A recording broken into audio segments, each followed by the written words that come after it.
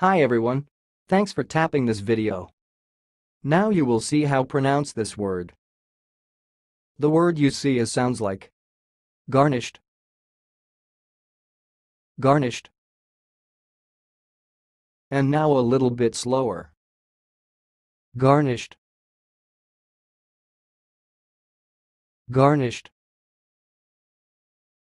That's all, thanks for watching. If you liked this video, please subscribe to my channel. If you want to share your opinion, please leave comment for this video. Thanks and goodbye.